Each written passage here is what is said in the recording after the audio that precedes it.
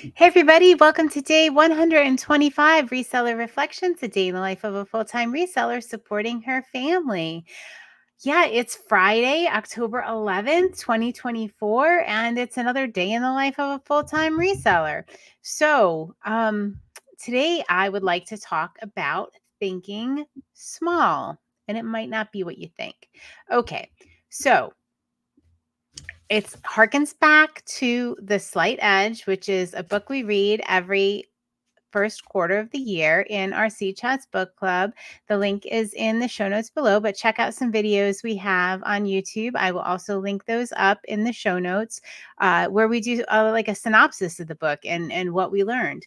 So I'm going to link up especially the one from where we reviewed The Slight Edge two years ago. And um, go ahead, watch it. Maybe it will give you some idea if you'd like to join us going forward because January, get ready, get the book now, get ready, give yourself that present, get ready to change your life. It is it's phenomenal and it's easy to read, very easy to read. The concepts behind it are easy to implement. And it's all about the small decisions we make every day that put us on the path to success or put us on the path to failure, right? Like big things do not happen overnight.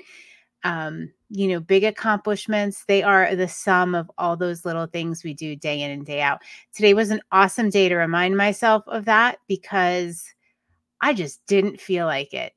It was another one of those days where I just lost my listing mojo. I just didn't feel like it. So I did the bare minimum. And that's okay. That is perfectly fine. There are going to be days like that. But I still did those small little actions that are building success. So think about that. Those seemingly insignificant little choices we make every day add up. They compound. Think of like compound interest. It it makes a big difference. So the thing about skipping a day or missing a day or you know taking a week off is it from those little things is it breaks our momentum. It's not that we're going to see a big you know shift a big change. It's that loss of momentum right? You think oh i'll start again on monday. Oh i'll start again in the first of the month. Oh i'll and you just keep you lose that momentum Whereas if you do it every day, you have the momentum, you just keep going, you don't have to think about it. So think about those small little things. The other thing I want to think small about is is this little quote. This was our quote today. Acknowledge all of the small victories. They will eventually add up to something great acknowledge all of the small victories. So earlier this week, we talked about celebrating, celebrating big wins, celebrating small wins, and how that makes you stronger. It motivates you. I linked up a video earlier in the week. Maybe I'll just link it up again for motivation. Maybe, heck, maybe I'll watch it again. and yeah, so those little things, like those little victories we need to celebrate. Those little day in and day out tasks that we that we do that may seem insignificant or those little actions we make or those little decisions we make every single day add up.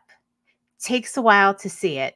Doesn't happen overnight. That's why we get into that whole um, plant, cultivate, harvest. We're cultivating most of the time is cultivation. The plant and the harvest are pretty, they're far apart. And it can be frustrating because we live in a world of immediate gratification. But remember, you know, remember the cultivate piece. Remember where you are right now. And you're probably in a cultivation period because most of us are. And because that's the one that lasts the longest. That's the one that we we so often forget and we just want to get to the harvest. We can't harvest without the cultivation, all those little, little tiny things we do every single day. All right. Like one of those things, you know what I'm going to say is that we reset to zero every day. So my workspace is clear, my items are shipped out, and I'm ready to enjoy my weekend with my friend. So all right. And it feels good, right? Like I feel like that's not going to be like I'm not going to be thinking about that because I reset to zero. So joining me on this challenge are Jill of Rusted Truck Relics, Jason the Santee Swapper, Char, Fabulous Flamingos, Kathy, Kathy Singz, Nick, Mr. C Chats, Vanessa, Brightest Holidays, the Diabetic Reseller, Judith R, and Pam of Whimsy and Such. Great job, guys. Reset for the weekend. Make it happen. So worth it. That little decision that you've been making every single day, I'm sure has you in a much better place. I do need to mention sales. I think we were about $20 away from our sales goal today, which oh gosh, so close. And after a couple of days of not hitting the sales goal, I think the week is I think the week we're not going to hit the week because it's just been too many days in a row, not enough big sales, but we will see. There have been a lot of really small sales and i've been hearing people talk about this this kind of trend this week this week and last week like a lot of sales but low dollar value sales which is fine keep the algorithm happy keep stuff moving and you know eventually people will come back and make those bigger purchases yeah, they definitely will. All right, everybody, have an awesome Friday night, and I will see you tomorrow on day 126 of Reseller reflections.